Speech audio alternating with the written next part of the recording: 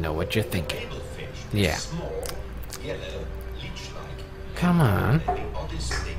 Say it. Nice pink shirt you got. Say it.